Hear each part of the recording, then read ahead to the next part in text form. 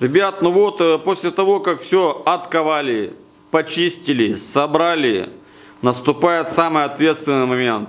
Это покраска. Вот покраску я точно не люблю. Это точно не... тоже. Ее никто не любит из нас.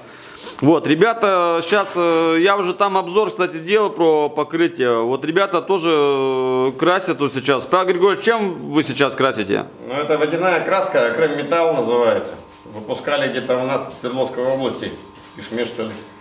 Очень хорошая краска в плане, что красить э, внутренние какие-то дела, которые стоит не на улице. Ну это вот в доме, что, что, все, что в доме Да. можно красить.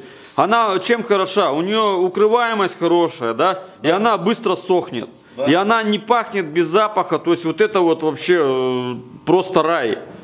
За Вот. можно два раза покрасить. Да, ты успеваешь, и она такая, это матовая, по-моему, у нас. Да? Вот это вот матовая, ребят, не глянцевая, это матовая краска.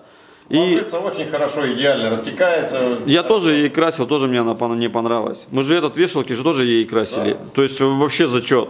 Очень такая бодрая краска. Вот, а на улицу ребята красят тикурилой. А там какая вот тикурила? Ну, Текурила у нас, э, как она, панцеремали, полуглянцевая тоже. Угу. Ну, зарекомендовала за уже 10 лет, наверное, нашей работы очень хорошо себя. Цена и качество. Есть дороже краски. Ну, я не считаю, что они лучше.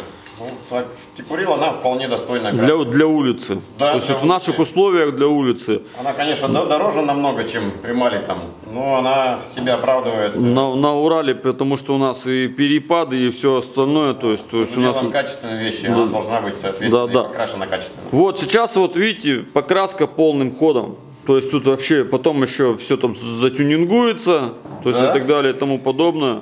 Запатинируем. То есть, чтобы все понимали, что тут не все так просто. То есть, а, мало того, что отковать, потом это еще надо доводить, доводить, доводить, доводить Можно до ума. краскопультом. Какие-то вещи мы красим краскопультом. Но это когда большие Да, уже. это много, или там ну, какие-то ворота, или полотно, там надо большое это, покрасить, потому что кисточка будет мазки. Ну, во-первых, краски много уходит в воздух. Во-вторых, не все места прокрасятся. Кисточка прокрасишь абсолютно все. Да, да, да. Если краскопультом красишь на улицу какие-то вещи, не кисточкой, она потом будет ржаветь. Потому что укрываемость краскопультом слишком тонкий слой. Во-вторых, не во все места попадет краска. Поверхностное натяжение называется. Да, да. Ну вот на этом как бы все, потому что у меня что-то аккумулятор тут садится. Не что-то у меня тут капец.